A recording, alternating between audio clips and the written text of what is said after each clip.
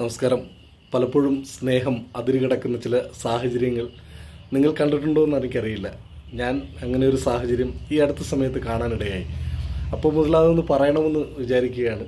മറ്റൊന്നുമല്ല ഒരു ഭാര്യയും ഭർത്താവും അവർ സ്നേഹിച്ച് വിവാഹം കഴിച്ചു.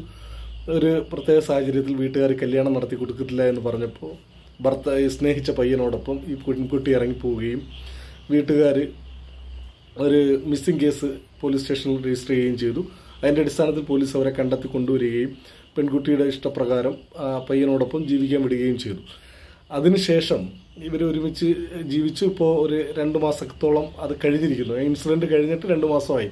ഇത് ആ പെൺകുട്ടിയും ഭർത്താവും പെൺകുട്ടിയുടെ മാതാപിതാക്കളുമായി സ്റ്റേഷനിൽ നിൽക്കുന്ന ഒരു സാഹചര്യം ഉണ്ടായി. പോലീസ് സ്റ്റേഷനിൽ നിൽക്കുന്ന ഒരു സാഹചര്യം ഉണ്ടായി. എന്താണ് കാര്യമെന്ന് തിരക്കിയപ്പോൾ പെൺകുട്ടിയെ അമിതമായി സ്നേഹിച്ച് വീർപ്പ് മുട്ടിക്കുന്ന ഒരു കാര്യമാണ് കേൾക്കാൻ കഴിഞ്ഞത്.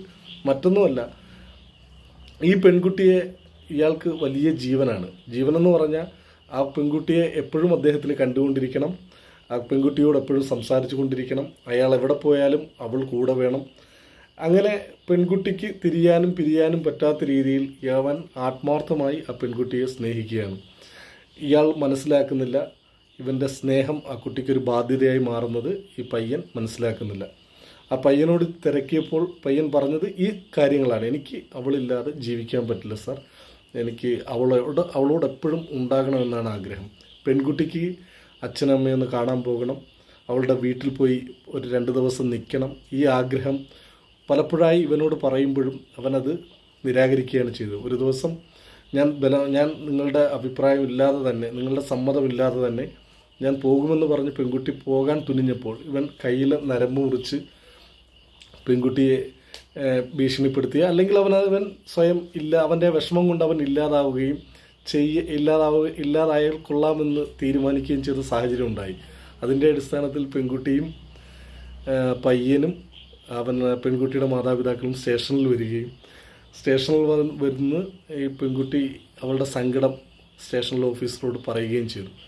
അപ്പോൾ പെൺകുട്ടിയുടെ വിഷമം അവൻ മനസ്സിലാക്കാത്തത് എന്താണെന്ന് നമുക്ക് മനസ്സിലാവുന്നില്ല. കാര്യം അവൻ അന്ധമായി ആ കുട്ടിയെ പ്രേ പ്രേമിക്കുകയും സ്നേഹിക്കുകയും ഒക്കെ ചെയ്യുകയാണ്.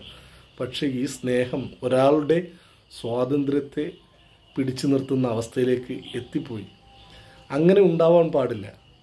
അങ്ങനെ ഉണ്ടാകുന്നത് ഒരു പരസ്പര വിശ്വാസമില്ലായ്മയും സുഖകരമായ കുടുംബജീവിതത്തെയും ഇല്ലായ്മ ചെയ്യും. നേരെ മറിച്ച് ആവശ്യത്തിന് അവളോട് സംസാരിക്കുകയും അവളുടെ വീട്ടിൽ പോകാനുള്ള അനുവാദം കൊടുക്കുകയും അവളുടെ അമ്മയെയും അച്ഛനെയും വിളിക്കാനുള്ള സമ്മതം കൊടുക്കുകയും ഒക്കെ ചെയ്തിരുന്നുവെങ്കിൽ അവർക്ക് സ്റ്റേഷനിൽ വരേണ്ട ആവശ്യമില്ല.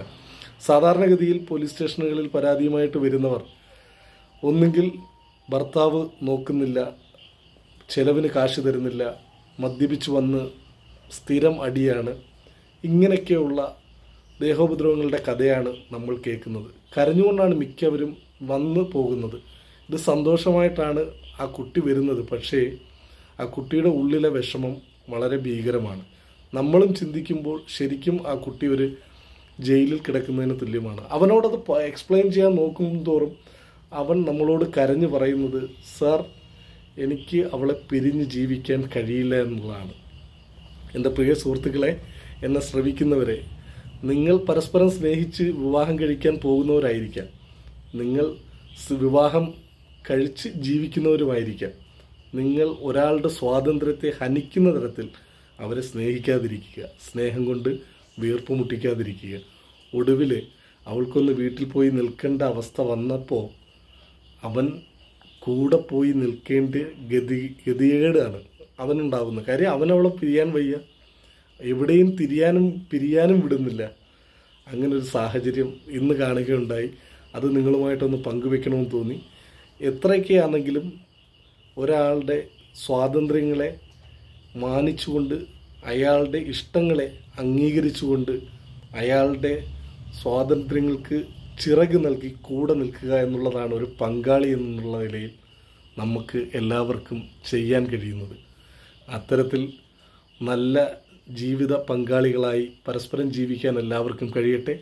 സ്നേഹിക്കുന്നവർ പരസ്പരം മനസ്സിലാക്കി അവരവരുടെ സ്വാതന്ത്ര്യങ്ങൾ പരസ്പരം അനുവദിച്ചു കൊടുക്കുന്ന ആൾക്കാരായി കഴിയട്ടെ എന്ന് ആത്മാർത്ഥമായി ആഗ്രഹിക്കുന്നു. നിങ്ങളത് മനസ്സിലാക്കി കാണും എന്ന് വിചാരിക്കുന്നു. താങ്ക്